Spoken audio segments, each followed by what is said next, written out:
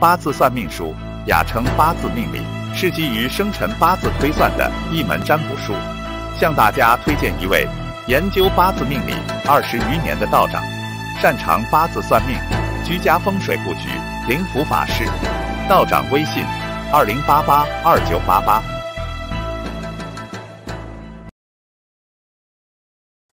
出租车就像一盒巧克力，你永远不知道这次会打到一辆什么样的。来，朋友进入话题：出租车的那些事儿。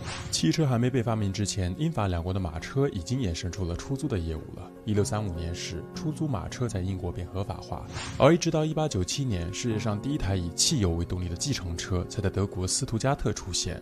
提到打的，价格是除了安全性之外，所有乘车人最关心的点。全世界打的最贵和最便宜的地方在哪呢？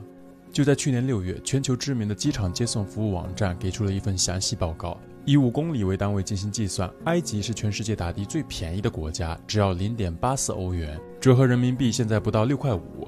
紧随埃及的是印度、泰国和印尼，而同样距离，瑞士却要二十二点六八欧元，折合现在人民币要一百七十三块八毛，是世界上打车最贵的地方。三名英国学生保罗、约翰诺和利想知道乘坐一辆出租车出行，最后计价器的价格能有多高。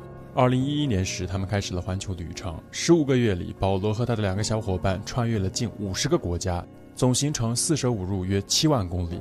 如此狂野的操作，直接收获了吉尼斯最长出租车行程的封号。最后计价器显示七万九千零六点八英镑，打的一时爽，丢东西火葬场啊！三月十号，Uber 公司更新了二零一九年度落东西大数据，手机、钱包、钥匙和包包霸占前四名，紧随其后的是耳机、衣服、眼镜，其中把 AirPods 落在车上的人比二零一八年多了百分之二十一。接下来更精彩，假牙、一箱子垃圾。